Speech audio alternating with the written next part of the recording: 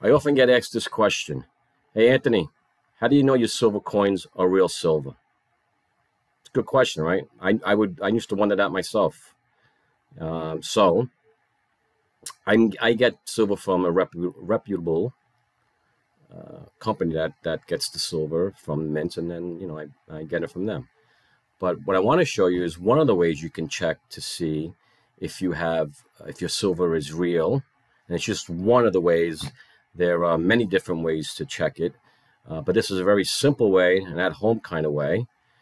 Um, it's with a magnet. Here's my magnet. Now, silver is not magnetic, right? So, this is the magnet. It's a small little magnet. Here's a can of tomatoes, right? Watch, watch what happens. Okay, see that? It's a real magnet. Do it again over here, just for, see, it's on hanging out on the side. It's a real magnet, all right? So, that's a magnet. So today I went to the bank to make a deposit. While I was there, so you know what? Let me go into my uh, lockbox there and get two coins so I can do this video. And here are the two coins. Okay, I got them calculated. So, if the theory is, well, it's not theory, it's the fact is that silver is not magnetic. All right, so I'm gonna open up this coin. My that thing is allowing me to do it, and here it is. It's the awakening. All right, that's that's pretty cool considering what today's date is, November 9th. All right. So here's the coin. Here's the magnet. Well, it stick? Now, if this is not silver, this magnet should stick. Look at that. Falls right off. All right. So one of the experiments is confirming that this at least does not have any metal in there. That it's, you know, silver is not magnetic. So let's just say silver is not magnetic. Also, another element that's not magnetic is aluminum, right? Oh, maybe this is maybe this is an aluminum coin. Yeah, it could be. It could be aluminum, but if it's aluminum, you'd be able to bend it, right?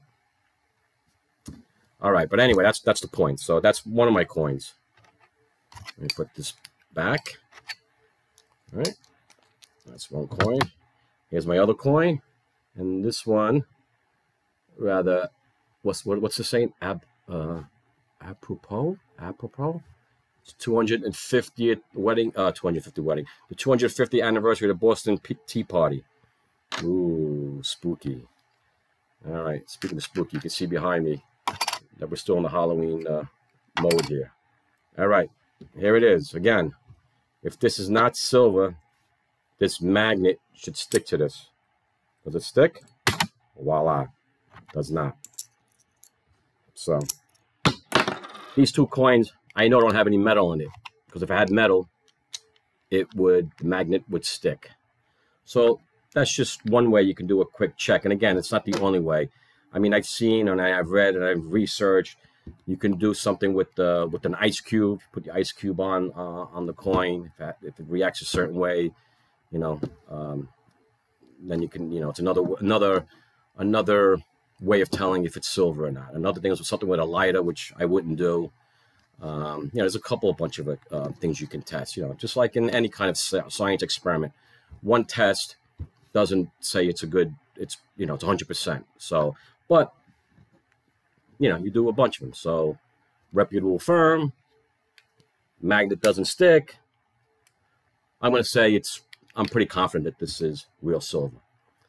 So anyway, that's that's what I wanted to show today. Something quick, something easy, and I hope you got some value out of that. So. Um, you want to go check your silver, get a little magnet, and at least you'll know there's no metal in it, right?